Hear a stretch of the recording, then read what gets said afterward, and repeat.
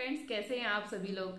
आज मैं बात करने वाली हूँ अपने चैनल पे पिगमेंटेशन को आप किस तरह से जड़ से दूर कर सकते हैं? जी हाँ फ्रेंड्स वो भी नेचुरल तरीके से। और ऐसे बहुत सारे कमेंट्स आए थे कि दीदी ज़रूर बताइए कि हम अपने पिगमेंटेशन और ओपन पोर्स की जो समस्या है, उसे कैसे निजात पा सकते हैं। मैं आज आप लोगों के साथ में ऐसी रेमेडी शेयर करने वाली हूँ, जो कि हमारे किचन में ही अवेलेबल होती है। बस उसका सही तरीके से इस्तेमाल करके हम अपने मेलाजमा और पिगमेंटेशन को दूर कर सकते हैं। जी हाँ दोस्तों और ये बहुत ही स्पेशल यू नो एपिसोड शुरू किया है मैंने, जो स्किन केयर वाली है, आप लोगों के कमेंट्स आते हैं, इसीलिए मैंने हेयर केयर की जो रिज्यूम यू नो शुरू किया आप लोगों को पता है, वो मेरी डेली के अपलोड्स होते हैं। तो ज़रूर सराहना कीजिएगा वैसे आप लोगों के फीडबैक्स बहुत अच्छे पॉजिटिव फीडबैक्स आते हैं, मुझे काफ़ी ज़्यादा पसंद है।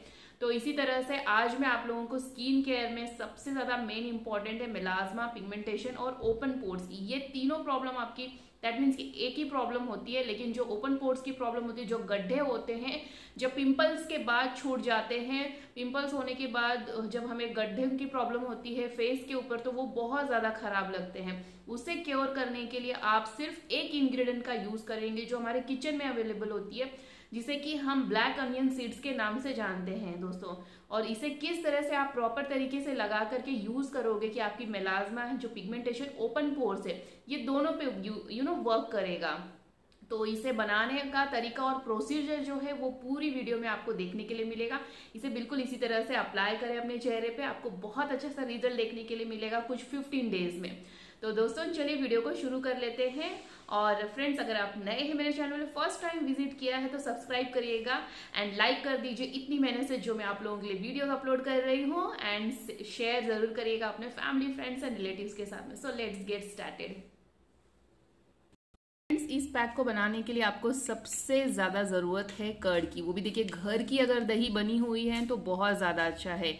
और खट्टी दही जो होती है और भी ज़्यादा अच्छी होती है। आप फ्रेश भी ले सकते हैं या फिर खट्टी दही भी ले सकते हैं।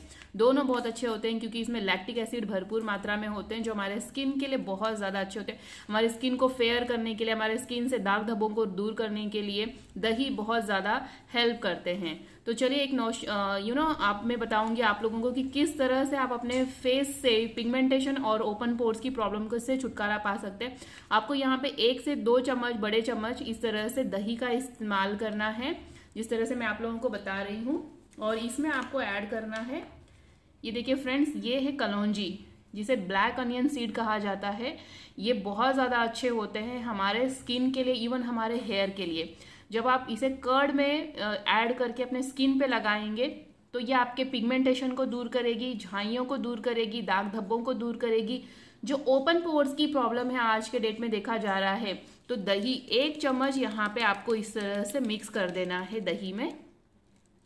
ब्लैक सीड्स ठीक है? इसे मैंने बारीक पीस लिया था। घर पे ही आप लेकर आए ब्लैक अनियन सीड को और उसे अच्छी तरह से मिक्सर ग्राइंडर में यू नो ग्राइंड करके रख लीजिए। जिस तरह से मैंने रखा हुआ है, बहुत यूजफुल है। अपने हेयर के लिए यूज़ करिए, अपने स्किन के लिए यूज़ करिए।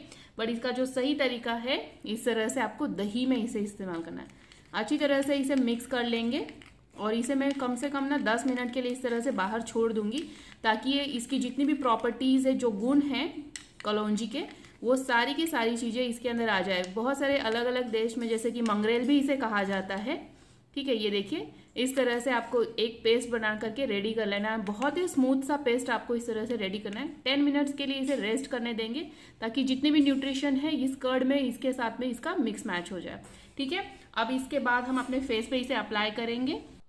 तो फ्रेंड्स देखिए स्किन बहुत ज़्यादा डल हो जाती है यू you नो know, गर्मियों का टाइम शुरू है कभी गर्मी लगती है कभी ठंडी लगती है बट ये जो हमने रेमेडी प्रिपेयर किया है ये हमारे स्किन को बहुत अच्छे से सूट करने वाला है क्योंकि जो नेचुरल चीज़ें होती हैं वो बहुत ज़्यादा अच्छी होती हैं। जी हाँ मैं आप लोगों को ये भी बता दूँ कि आप पेस्ट ज़रूर कर लीजिएगा और देखिए फ्रेंड्स सबसे पहला जो मैंने काम किया अपने स्किन को सबसे पहले उसको स्क्रबिंग दिया उसके बाद हमें अच्छी तरह से इसे पूरा पैक को अपने फेस पर अप्लाई करके छोड़ देना है कम से कम थर्टी मिनट के लिए इसे छोड़ दीजिए अपने फेस पे। उसके बाद फिर से आपको रब करते हुए हल्के हल्के हाथों से देखिए मसाज कर लेना है। इससे आपकी स्किन बहुत ज़्यादा स्मूथ हो जाएगी और एक्सपोलिएट हो जाएगी। हमारे स्किन को एक्सपोलिएट करना मस्ट है और बहुत अच्छा सा आपको ग्लो देखने के लिए मिल जाएगा। लाइक करिएगा शेयर